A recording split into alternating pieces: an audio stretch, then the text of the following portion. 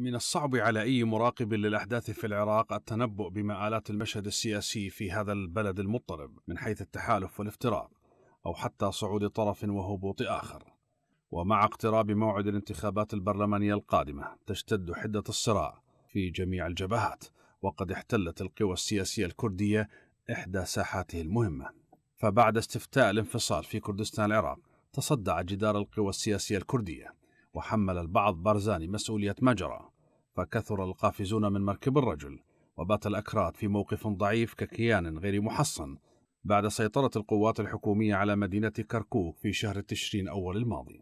ومع كل هذه المعطيات بدأ التحالف الكردستاني يبحث عن مكسب جديد ليعوض ما خسره مترافقا مع إعادة تموضع جديد للأطراف السياسية في كردستان العراق.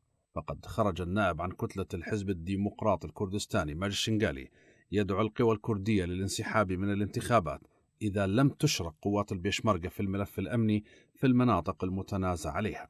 النائب شنغالي عزى ذلك المطلب لمحاولات التغيير الديمغرافية التي تقوم بها القوات الحكومية وميليشيا الحشد في تلك المناطق.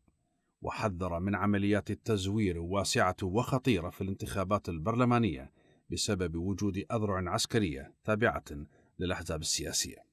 كلام النائب شنغالي أكده زميله في الحزب محسن السعدون الذي أكد أن الخارطة السياسية الكردية باتت غير واضحة المعالم مشيرا إلى تصاعد حالة التنافس بين الأحزاب الكردية التي كانت تمثل جبهة واحدة وتحالفا واحدا هو التحالف الكردستاني.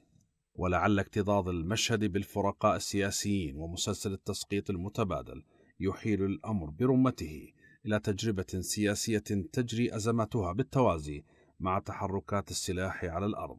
فهنا الحاضر وربما المستقبل مرهونان بفوهات بنادق لا يعرف حاملها إن كان عسكريا أم سياسيا أم كلاهما.